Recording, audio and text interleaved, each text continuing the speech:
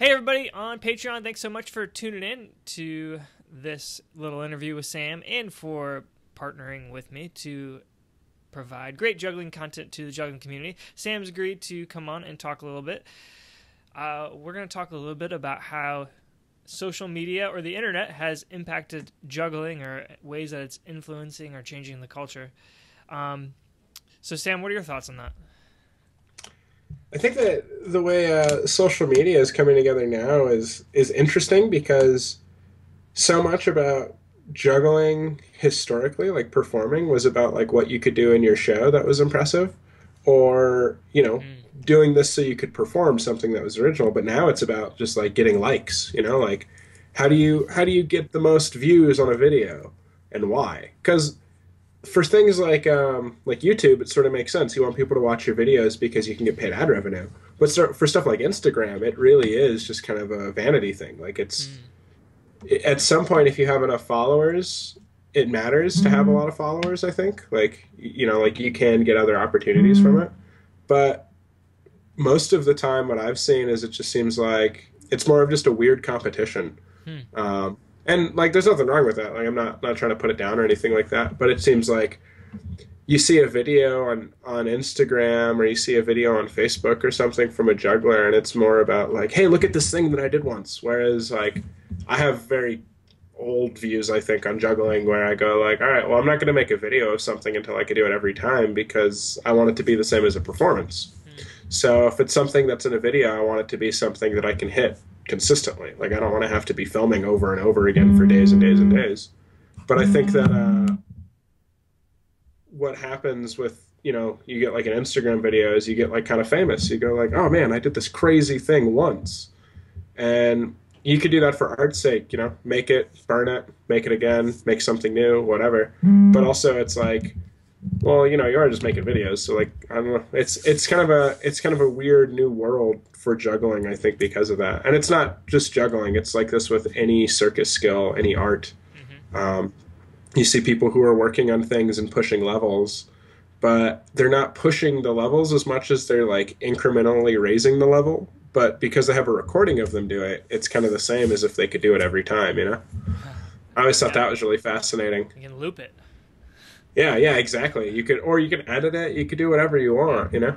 The the tension that you're you're talking about through different conversations I've had with jugglers, I think is it's a big one for people who uh, who juggle for a career, because it, um, it it kind of I don't know. I think traditionally, like that's like why else would you I don't know.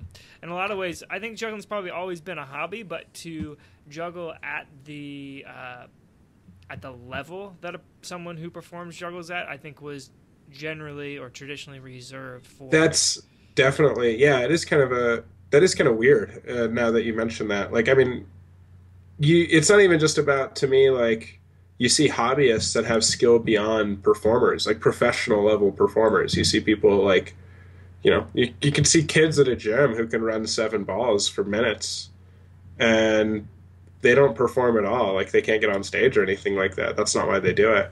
So it's weird because like social media is like that too. Like there's people that are performing, but they're not really performers. Like their performance is only for social media. Right. Like that's it.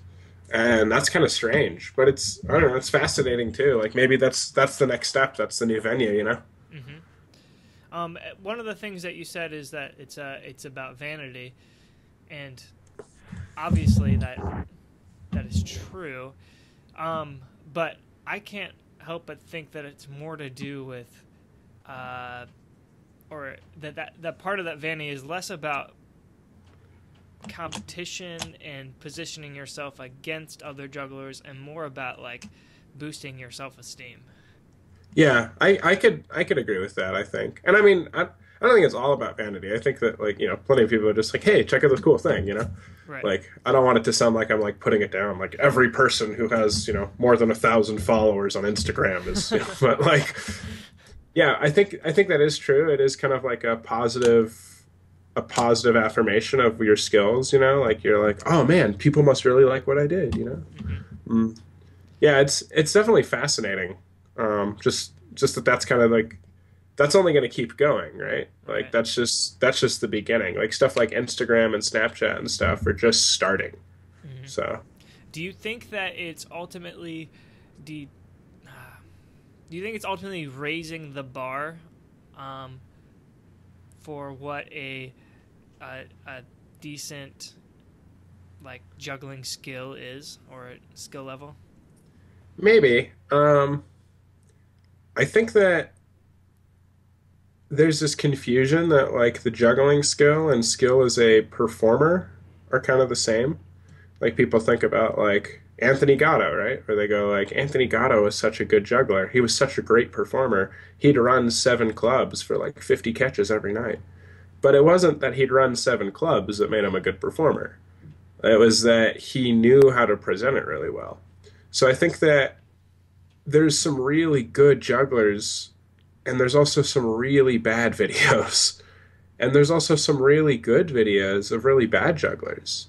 And it's not that like you need to be good or bad at either of these things. It's just that it's it kind of comes down to me as the same complaint that I've heard jugglers like jugglers have told me stuff that they feel about street performing because they know that I street perform and they say stuff like, "Well, you know, street performers you just juggle like three things. I could do that." And it's like, "Well, there is a lot more to it than just juggling three things." But you get that same thing with video.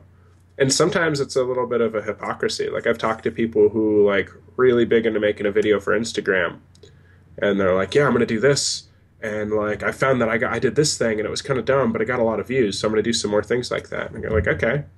They're like, but you're only going to juggle a little bit? I'm like, well, yeah, because people don't have the attention span for it, maybe, or maybe people don't care about juggling as much as you do.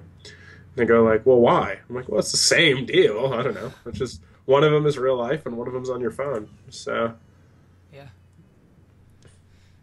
Cool. yeah. Yeah, this is it's one of those conversations that I it's it's like it's still happening. So it's like how do you talk about how this is impacting or like we have no idea what it's going to do to yeah, I mean, this is it's literally at the very beginning. Yeah. You know, it's like it's not even like like you can't really expect what's going to happen or how it's going to work out just because there's been nothing ever like this before. Like you've never like even this right now, like we're just talking through the internet. Like you've never had anything like that before. So the idea that like we're going to know what the impact it's going to have on juggling is, Yeah. it's kind of crazy. Mhm. What I think is weird, this is just like one thing I want to throw onto this, is that um, the people who see like videos of juggling and stuff on Instagram that like them that aren't jugglers, um, they don't necessarily care more about juggling or understand more of the skill involved with it afterwards. Like just from people that I've met, um, either at shows or on the streets or something, who like they see me juggling, like at the gym even, people like, "Oh yeah, I see you juggling." Like there was a there's a guy who he was a huge fan of Josh Horton, and we were in the basketball court or whatever, and Josh made a trick shot video where he juggled like three basketballs and he threw into the hoop. And I was working on like seven balls, and the guy was like, "Oh, that's crazy! Have you seen this guy?" And I was like, "Yeah, that's that's my friend Josh," and he's like, "Oh man, well he's only doing three. I'm like, "Well, I mean, you know, like." It's like Josh does like tons of crazy stuff, you know, like he's he's a great juggler. But people don't see that. Like even though he's making the content, that's not what people see. They're not like, "Oh, well he did the six ring trick on this video." They're like, "Oh, well, look at this." You know? Yeah. Yeah, it's like uh yeah, he could probably do seven too. Uh, I'm pretty sure I've seen Josh juggle seven things. Just, just pretty sure. although I haven't seen seven basketballs. Uh, that is something I have not seen. I don't know about you. Yeah, he should step his game up. You're right. Yeah. If anybody's watching this, just message Josh right now. Sam said you need to step your game up. Seven basketballs. yeah, and and make every one into a basket. the the class. like actually, like like just leather baskets. exactly. This one looks like Steve Mills. Uh, you, were you gonna say something else? I, I think I was saying something. I don't know. oh, it's just that like that that that classic criticism, right, from like your audiences or from random people. That and this pisses off jugglers, where they're like, yeah, that was great, but can you do plus one? You know, can you do plus two? wow, you're doing seven? I could not even fathom how much time that took, but try nine. So, like, yeah, Josh, you can do five basketballs, do seven. But it's okay because I'm a juggler. I can say it. no, no, I think you're making fun of me right now. Maybe. um, all right, so uh, let's see. We're already at 10 minutes. Whew. All right. Well, I hope it's not uh, too boring for everybody. But hey, that's okay. We keep talking. Tell me, I wanted to hear a little bit about Thom Wall. Okay. What do you want to know? oh, man. What do you want to hear? I want to know. I want to hear some dirt on Thom. You want to hear some dirt on Thom? Actually, There's actually not really dirt on Thom. Thom seems like a really good dude. So when I say dirt, I mean something funny. Okay. Um, I think a lot of those stories come down to times that I picked on Thom. yeah. so me and Thom um, met because he was coming out to Boulder when I first moved to Colorado. He was coming out to Boulder with Alan Thompson. They used to do a like they used to juggle together. They had some great passing videos and stuff that they worked on. Alan Thompson, by the way, is one of my favorite um, technical jugglers. Like, love that guy's stuff. Um, I don't know if he's still working on anything, but you know, I don't even know if he'll ever hear this. But uh, Thom and Alan came out to Boulder, and I met them. And Thom bought the first set of juggling balls that I sold. Oh, cool. And he was working on this trick where he was getting them kind of behind his neck like this. It's like three ball trick. And he filmed a video of it. And he had a poster in this video. Behind him in this poster was a brontosaurus. So he named it the brontosaurus trick. Hmm. And I was like, oh man, I love that trick. And he was like, oh, these balls actually make it really like a lot better. And I was like, cool. So I was like just like figuring out how to make them as best as I could. So I made him a few few sets of the starters. And he bought some from me because he's just a nice guy. Like he wanted to support me. And I named them after that trick. That's actually where the name Brontosaurus balls came from. So then uh, Thom and me both ended up applying to work at this YMCA summer camp up in the mountains of Colorado for the summer. This is like within that same couple weeks that we had first met. And they hired us to instruct juggling. They hmm. wanted us to be juggling instructors. So we ended up getting put into a cabin together and then we, we were like, you know, we had this this one thing in common, but we also were both, you know, pretty relaxed and like to make jokes and stuff and pick on people a little bit and, you know, take things with a little bit of a little bit of jest. So we became pretty good friends doing that. And then we um, so we'd watch kids and then sometimes that was awful and sometimes that was awesome and then on the weekends we would uh, go practice juggling and then occasionally we would get really really drunk uh, and then you know that was that was kind of where we became friends was just working at this summer camp mm-hmm. But it's also weird because it was like a ymca summer camp that we both did for a summer just because we could, and it wasn't like it didn't really pay anything. It was just like us living in the mountains and hiking around together. Mm-hmm. Um, and then also, you know, we bonded over juggling, and then you know, from then on, we, you know, he moved to Boulder, and we hung out a bunch, and it was kind of this like real cute story of how we became friends. Yeah, that's awesome. That's cool to know that he's played this um, huge part in the name of your company, and. Uh, Also, I wanted I wondered uh, what what it's like to be a juggling instructor at a YMCA when you're when you guys are drunk together. Um, well, we weren't ever drunk at the camp, oh, okay. so that is that is because that would be illegal, and we would never ever break the laws together. It would never happen. Just, oh, sounds no. like sounds like there's some dirt in there somewhere, but but uh, so um no, it was just it, it was fun because like we made friends with all these other people who were not jugglers, who had nothing to do with juggling, who had nothing to do with the community. In fact, they were more on the they were going to the YMCA camp to teach because they were Christians, like they were hardcore like religious people. And that was okay. Me and Thom were not. So we ended up just like kind of hanging out because this was like, oh well, we could we could bond over this and You know, we're not, you know, we don't have a lot in common with a lot of other people, but we have stuff in common with most people. And we'd kind of tell silly jokes and stuff, and yeah, that was that was kind of how things went.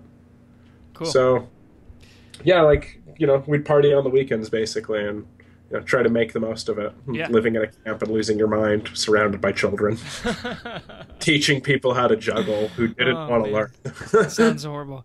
Um, I mean, it really doesn't sound great, except for the mountain part and being with with a friend. That sounds pretty cool.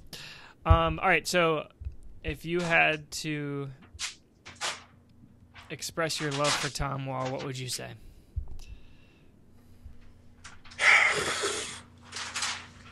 well, this is just a video for all the people who are going to pay for the Patreon, right? So, Well, f- for for now, okay. who knows Well, what I'm just happen. saying, like, like the chances of Thom seeing it right away are pretty low. Yes, yes, yes. I'd say if I was gonna if I was gonna put my love for Thom Wall into words, it would be that he is totally irreplaceable, and I have tried, like I have tried to replace him, and I thought that having one Matt Hall would equal out to having two Thom Walls, but really, you know, no matter how many walls you have, it just he's he's he's the good one, you know, like. All right. Um, yeah, I don't know. He's one of my best friends. I'm really happy that he's in Cirque du Soleil and and making the most of that and like pushing his career and stuff. Like me and him used to get together every weekend and or we'd get together multiple times a week and we'd go practice at the gym and then go out for like cheap hamburgers and argue over like you know well i have five dollars in my bank account so i could buy two hamburgers and you know i have twenty dollars in my bank account like just flat broke you know, trying to do whatever we could to get a gig or to do anything and like working on routines and writing stuff and coming up with cool tricks and, you know, advice. And so, you know, he's, he's like definitely one of my best friends and he's definitely one of my biggest mentors. And to that, you know, I owe him kind of my whole career. So, Awesome. All right. Well, I think that's great. That about wraps it up. Um, all right. Sam's been awesome tonight hanging out with me, and I hope you guys enjoy this too. Thanks for sort- supporting Patreon, me on Patreon. I don't care if you support Patreon. And uh, you should go buy some Brontosaurus balls. Yeah, that's a good idea too. Yep. Um, like me on Facebook and stuff. Yep. Just like me in real life. That's okay too. All right, sweet. Thanks for watching. Thanks, Sean. See you guys later.